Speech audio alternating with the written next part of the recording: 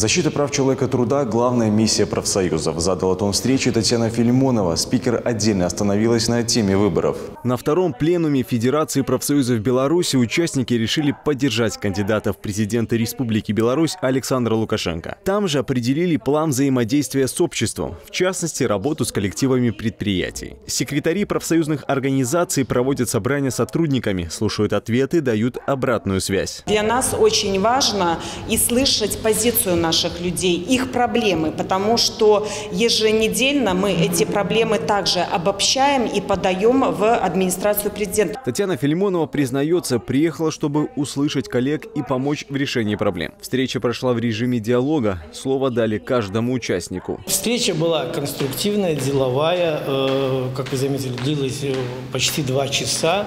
Вот. Э, получили ответы на поставленные вопросы. Конечно же, такие встречи, когда обсуждаются проблемы отрасли, нужны, тем более, когда приезжает человек из столицы, когда приезжает лидер э, нашего профсоюзного движения, работников культуры. Татьяна Филимонова подытожила. Президент поддержал едва ли не все инициативы профсоюзов за последние пять лет. Председатель Центрального комитета привела в пример новую редакцию Трудового кодекса. Максим Кембель, Владимир Гребеневич, Бобруйск, 360.